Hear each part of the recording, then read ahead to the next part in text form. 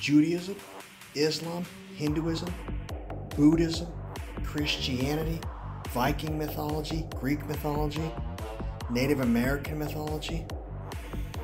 scientists, physicists.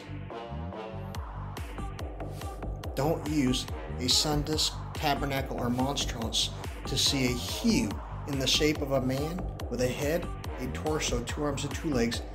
standing in the center, seven seals of the electromagnetic spectrum that turns water into wine,